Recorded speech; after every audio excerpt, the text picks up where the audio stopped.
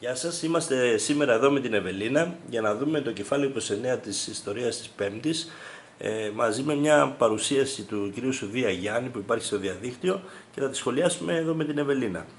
Τι έχουμε Ευελίνα; Εδώ πέρα βλέπουμε λίγο για το Βυζάντιο τι γινόταν.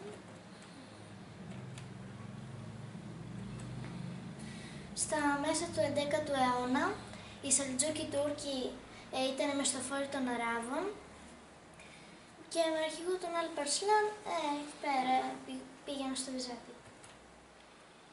Εδώ πέρα βλέπουμε λίγο πώς είναι. Ω, τρομακτική, ε. Ναι. Έχουν και άοπλα, καλά.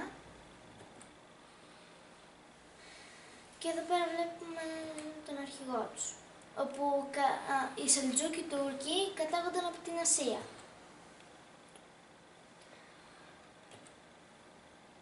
Εδώ πέρα βλέπουμε λίγο πώς είναι στις μάχες τους. Καλοί πολεμιστές πρέπει να ήταν, ε. Ναι.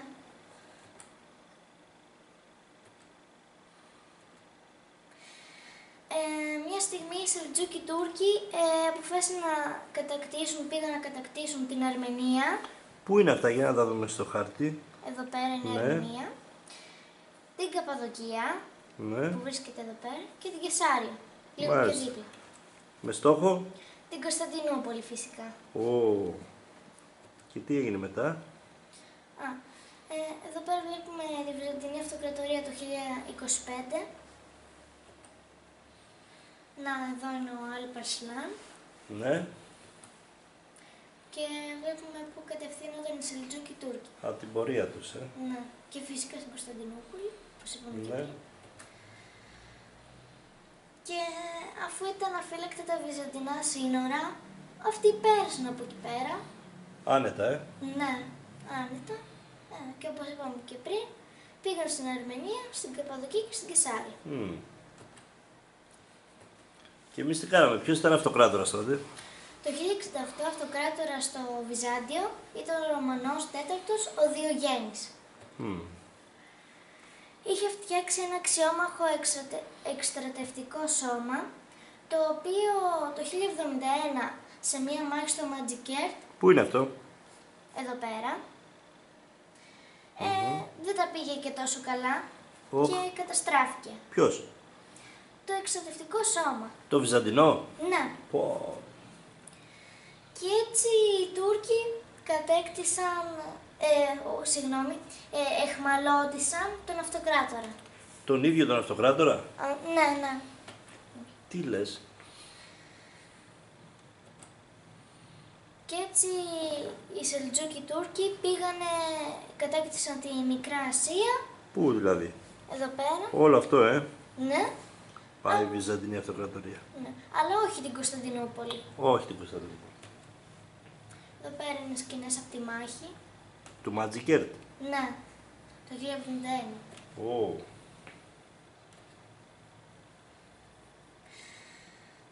Α, είναι άλλη μια σκηνή, βλέπουμε.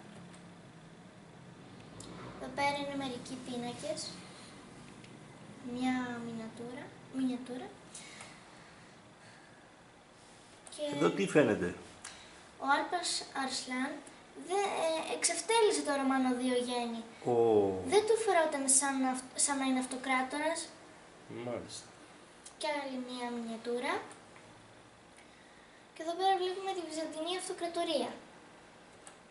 Το 1045. Πριν τη μάχη του Ματζικέρτ. Ναι. Και μετά είναι το Ω. 1091. Πω πω, κοιτάξτε πόσο μίκρινε. Πάρα πολύ. Συρρυκνώθηκε. Εδώ πέρα βλέπουμε που, ε, Τι, άλλη αυτοκρατορία αυτή; ναι, των Σελτζούκων Τούρκων. Ω, αυτοί μας περάσανε. Μμμ, είναι τεράστια. Τεράστια.